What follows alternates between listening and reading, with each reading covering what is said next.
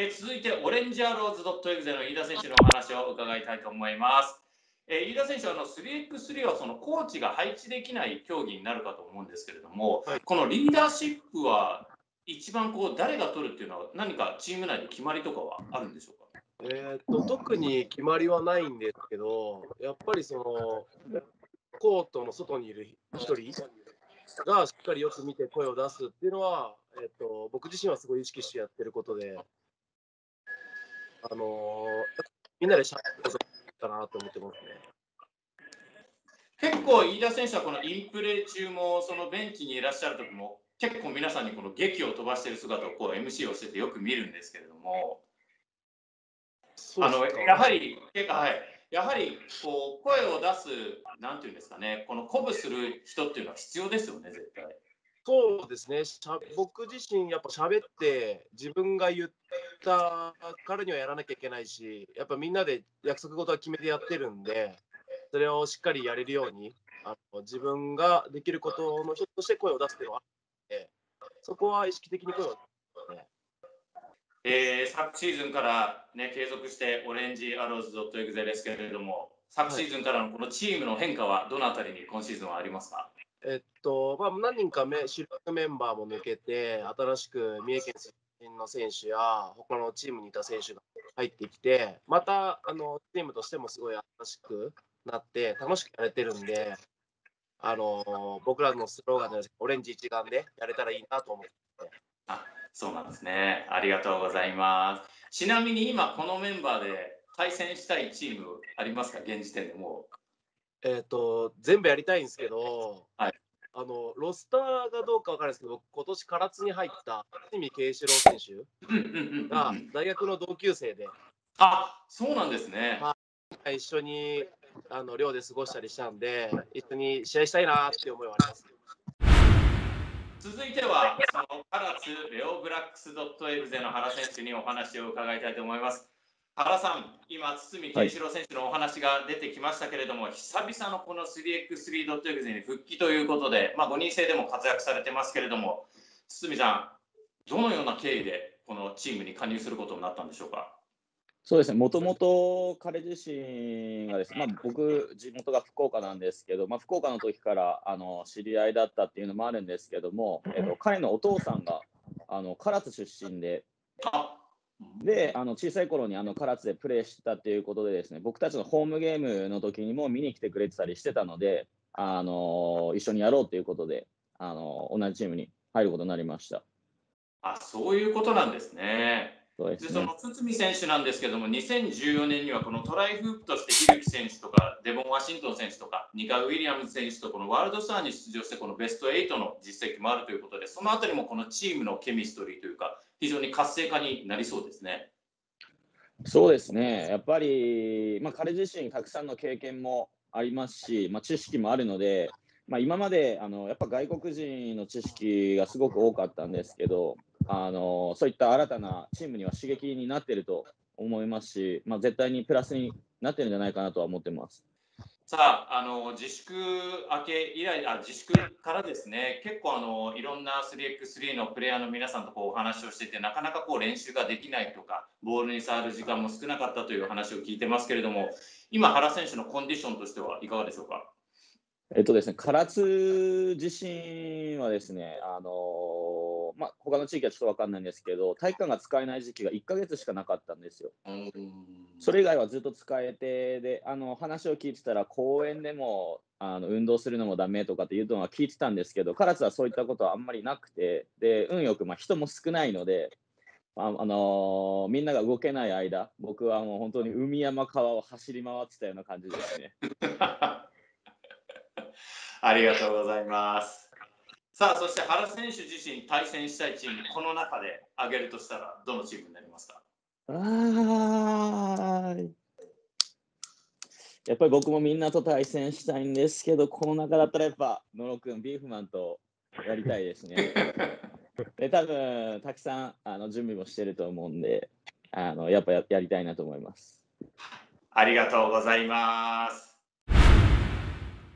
さあ、そしてその対戦したいというビーフマンドットエグゼの野田選手に最後にお話を伺いたいと思います。えー、まずは先日行われた 3x3、えー、ジャパンツアーですね、見事優勝おめでとうございますあ。ありがとうございます。引き続きチームの状態どうでしょうか、いいんじゃないですか？そうですね、本当、うち、高島選手がガラッと入れ替わったんで、まあ、すごく新鮮ですし、なんと言っても魅力的なのが、あの全員オールラウンダーなんですよね。だからそれを生かした今、フォーメーションだったり、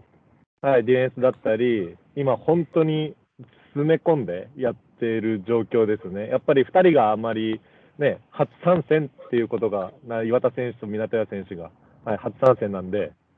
はい、そうみんなで中心に、一生懸命今、この後ろの B コートで、まあ、これ終わったらすぐ練習するんですけど、やってます。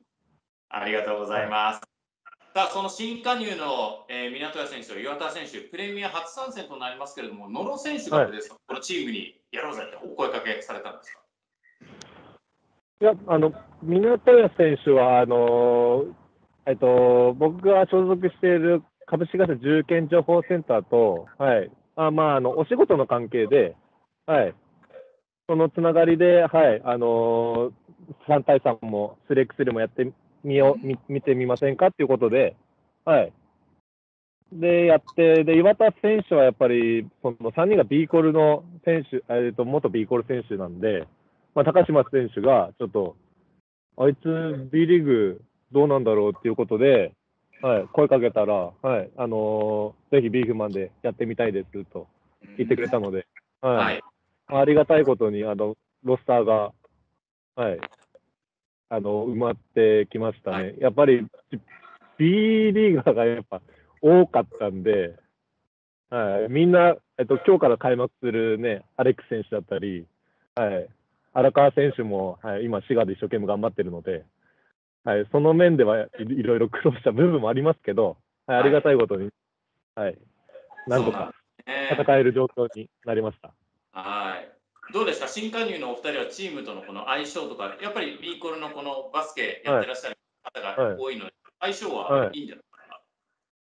そうですね、やっぱり先輩後輩の関係だったんで、まあ、一つのことを言えば、違うプレーでアレンジしたり、ディフェンスの面でも、はい、すごい、1個の声かけただけで2、3個やってあのくれたり、あやっぱりすごいなって、はい、1個のことでまた違うプレーがいろいろ生まれるんで、僕も刺激的だし、はい、やっぱ勉強することも多いですね。やっぱ彼らの方がやっぱスキルはあるので、はい、そこはお互いリスペクトしながらやってますね。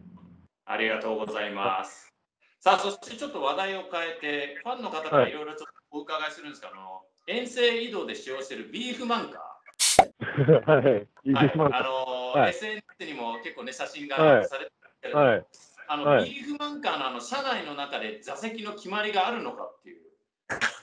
もうこれはここに座るとか、もうそういう決まりがあるのかどうかをちょっと聞いてくれって言われてですね。はい、本当ですか？はい、何かあるんですか、はい、あの、まあ、決まりはないんですけど、僕は、まあ、後ろ席ガラーッと開けて、もうすぐそこの席で、あの足伸ばせるんで、はい、なんか、外国人選手いなかったら、もう僕はそこに陣取ってます、こうやって。で、高島選手が後ろにいたり、はい。まあ、はい、みんな点々として、でも僕はそこにドーンといます。そうですね。社内の雰囲気は楽しそうですね。そうですね。遠征でやっぱ移動長い時には、あの、えー、携帯でつないで、で、2つモニターがあるので、で、試合のビデオを見ながら対策取ったり、あのワールドツアーの動画を見ながら、これいいんじゃないとか、フォーメーション見たり、あまあ、3対3も、はい、見ながら遠征で移動してますね。そうなんですね。結構車で移動される方が結構たくさんいらっしゃるかと思いますが、みなかみタウンドットエグゼも結構あれじゃないですか、草加さん、車で移動することの方が多いんじゃないですか？そうそうですね、今あの、えー、特に新型コロナウイルスの影響で、えー、基本的にはドアトゥードアでこう車で移動するようにしているので、はい。えー、花野選手が最近、えーと、名古屋から、群馬の方に、えーと、移住しまして、はい。えー、と僕と塚選手と、えー、花野選手と,、えー、とマネージャーの子。で、えー、とそうですの高速であの移動することが多いですね。いやあのやはりこうそこでバスケの話はよくするので、はい、なかなかこう 3x3 こう平日とかで練習できるチームがないので、まあ、あの少しでもそういうところでこうチーム力っていうのをこう上げていっている形ですね。はい、そうなんですね。ありがとうございます。やっぱり皆さんあれですか、こう車とかで同乗されて会場に入り、あと帰るときとか、やっぱりちょっと負けたりとかすると、ちょっと雰囲気悪い感じでこう帰る感じが多いんですよね。飯田さんどうどうですか？そのあたりいやうちはあれですよ、あの悪いプレーしたやつがひたすらいじられますね。あ ひたすら言われるんで。そうなんですね。はか唐津はどうですか？帰りの車とかは。えっと、やっぱ唐津はもう試合会場遠いので、まあ、新幹線、飛行機が多いんで、みんなバラバラ席バラバラの席に座ってるんですよ。なんで、帰りの会話は一切ないですね。まあ疲れてますしね。はい。そうですね。はい。承知しました。ありがとうございます。さあ、ということでね、各チームにいろいろな話をね、伺ってまいりましたけれども、まあ、あのーそれぞれね、あの、チームの魅力をね、今後も伝えていきたいと思います。それでは皆さん、最後に、えー選手へ、えー試合へということで、意気込みを各選手に伺っていきたいと思います。それではまずはじめに、みなかみタウンドットエグゼの草加選手から意気込みをお願いします。今シーズン、えープレミア参入して3シーズン目なので、えーとまだ、えーチームとしては、えープレミア優勝したことないので、えー今年こそは、えープレミアカップで優勝して、みなかみタウンドットエグゼという名前で、えーと町の名前を背負っているので、えー町の期待を、えー背負って、えーとバスケットボールはでも楽しんで、えープレーしたいと思います。さあ続いてスリストム広島ドットエグゼジョン・ジョバンニ選手お願いします。はい、えっと、そうですね、僕らも、まあ、広島を背負って、やっぱ優勝を目指して、最後に、まあ、広島の人に応援していただけるように、頑張って優勝を目指したいなと思います。よろしくお願いします。ます。続いてオレンジアローズドットエグゼ飯田選手お願いします。はい、えっ、と、まあ、このような状況で試合をやらせてもらえることに本当に感謝しながら、えっ、と、まあ、オレンジアローズ2年目けど、少しでも上位目指して、えっ、と、チーム一丸、オレンジ一丸で頑張っていけたらなと思います。ありがとうございます。続いて唐津レオブラックスドットエグゼ原選手お願いします。はい。えっと、まあ、コロナの期間中に、まあ、僕たちも優勝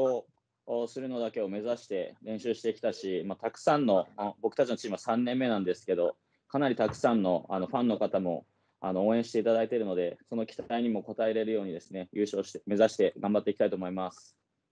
ありがとうございます。では最後にビーグマンドットエグゼ野呂選手お願いします。はい。ここういうコロナ禍の中で、私たちのプレーをなかなかね、現地であの応援していただけないのがちょっと残念ですが、えっと、ライブ配信もありますので、ちょっとあの少しでもね、全力プレー、元気なプレーをあのブースター様、そして 3x3 のファンの皆様に、僕たち 3x3 プレイヤー全員、えっと、そういうファンの思ファンの皆様の思いを背負って、一生懸命全力を尽くして、みんなで一生懸命あのやって、いい大会にして、してしたいしたいですね。そして、あの、ビーマンドットエグゼとしては、やはり優勝を目指して世界進出、もう一度あの舞台に僕も立ちたいので、はい、全力プレーで頑張ります。ありがとうございます。選手の皆さんありがとうございました。さあ、ファンの皆さん、ついに開幕する 3x3.exe プレミアジャパン2020カップ、改めてここで観戦方法をご案内させていただきます。えー10月11日日曜日ですね、11時45分からホームページ、そして YouTube にてライブ配信をいたします。えー新型コロナウイルス感染症拡大防止のため、観戦は配信のみとなりますが、えー今回は CG を活用した映像による新たな視聴体験をお届けいたします。えーまもなく出場選手、そして対戦カードも発表されますので、3x3.exe オフィシャル SNS をぜひチェックしてみてください。はい、ということで選手の皆さん、たくさんのお話聞かせていただきありがとうございました。えー来たるですね、10月11日開幕はライブ配信でファンの皆さん、ブースターの皆さんお会いしたいと思います。それでは第1回 3x3.exe プレミア TV でした。皆さんありがとうございました。ありがとうございました。ありがとうございました。